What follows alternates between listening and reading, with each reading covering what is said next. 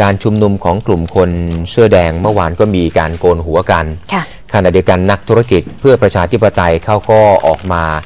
แสดงจุดยืนว่าช่วงเวลาแบบนี้ไม่ควรจะยุบสภาค่ะก็เมื่อวานมีความคิดเห็นหลากหลายนะครับ ท่าทีของประชาธิปัตย์เองก็ตั้งข้อสังเกต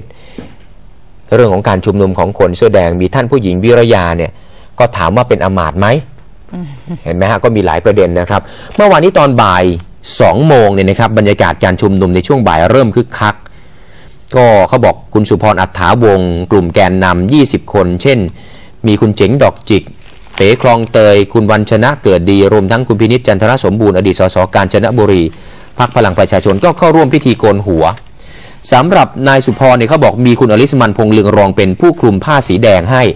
มีข้อความยุบสภาแล้วก็ใช้ปัตเตเลียนกล้อนผมให้บนเวทีเลยนะครับ มีพระสงฆ์โกนผมให้อีกครั้ง โดยพิธีกรบนเวทีเนี่ยประกาศบอกว่า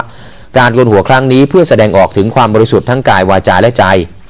ผู้สื่อข่าวรายงานบอกว่านอกจากแกนนำทั้ง 20 คนแล้วเนี่ยยังมีผู้ชุมนุม 400 กว่าคน ทั้งผู้ชายผู้หญิงติดสติกเกอร์คำว่ายุบสภาไว้ที่หน้าอก ก็ไปร่วมโกนหัวประท้วง เรื่องยุบสภาด้วย โดยมีนางเซียน พินทราช เป็นผู้ที่มีอายุเยอะสุดนะฮะ82 ปีเลยฮะ โอ้โห นี่ก็โกนด้วยนะครับ เป็นชาวคลองเตย ส่วนผู้ที่มีอายุน้อยสุดก็คือเด็กหญิงพรณภา นิพานรำอายุ 8 ขวบเอง มาจากขอนแก่น ก็มาร่วมโกนหัวด้วยเหมือนกัน ทางรายงานส่วนหนึ่งเมื่อวานทางตำรวจพลตำรวจตรีปิยะอุทายโยโคศกบชนอเอง ก็แถลงมาตรการดูแลความสงบเรียบร้อยการรักษาความปลอดภัย การชุมนุมการเคลื่อนพล 27 มีนาคมนะครับ โดยบอกว่า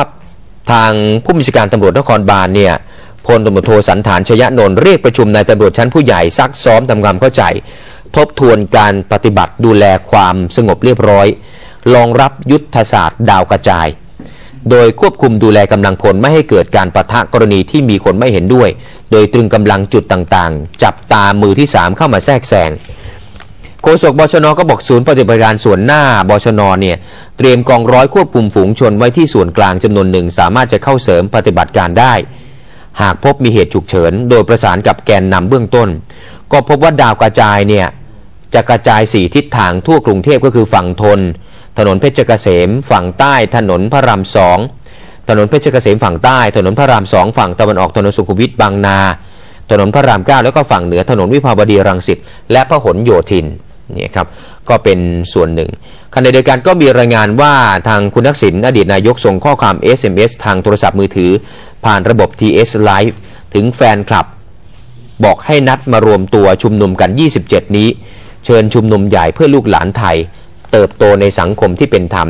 มีประชาธิปไตยนี่ครับนนี่ก็มีประเด็นหนึ่งขณะเดียวกัน เมื่อวันนี้ตามรายงานเนี่ยนะฮะทางฝั่งประชาธิปัตย์ คุณเทพไทยเสนพงศ์โฆษกประจำตัวหัวหน้าพรรคประชาธิปัตย์เองก็แถลงบอกว่า การที่ท่านผู้หญิงวิรยาชวกุลไปขึ้นเวทีเพื่อขับไล่อมาตเนี่ยขอถามว่าท่านผู้หญิงวิรยาเนี่ยเป็นอมาตหรือเปล่า และเป็นการแสดงความจงรักภักดีที่ผิดการเวลาหลายครั้งของกลุ่มเสื้อแดงหรือเปล่า การทำกิจกรรมถวายพระพรแด่พระบาทสมเด็จพระเจ้าอยู่หัวของกลุ่มเสื้อแดง ถือเป็นเรื่องไม่บังควรที่ถูกตำหนิ ขอถามถึงความรับผิดชอบจากแกนนำคนเสื้อแดงด้วย นี่คุณเทพไทยเสนพงศ์ โฆษกประจำตัวพรรคประชาธิปัตย์เมื่อวานให้สัมภาษณ์ไว้ส่วนหนึ่งนะครับ